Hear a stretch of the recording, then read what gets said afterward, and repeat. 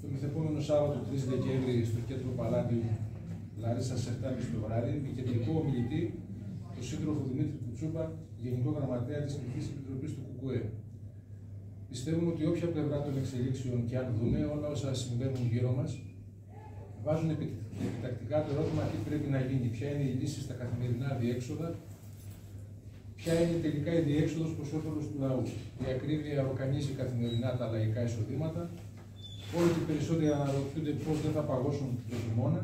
Όμως η ακρίβεια και η ενεργειακή φτώχεια δεν είναι φυσικά φαινόμενα, ούτε εισαγόμενα, όπως λένε οι κυβερνώντες. Έχουν αιτία και ένοχο, που είναι η μόνιμη επιδίωξη για κέρδος των ενεργειακών και γενικότερα των μονοπωλιακών ομήλων. Μια επιδίωξη για κέρδος που υπηρετούν με συνέπεια όλες οι μέχρι τώρα κυβερνήσεις και οι νυν και οι επίδοξοι διαχειριστές, άσχετα από τις διαφορές τους, και τις αντιπαραθέσει μεταξύ τους που επιδιώκουν να κρατούν το λαό καθυλωμένο και άπραγο.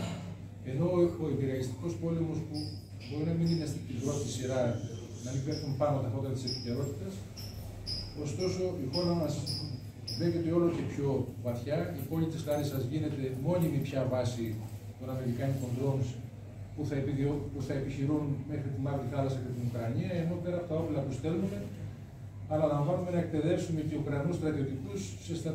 σε εγκαταστάσεις της ευρύτερης περιοχής.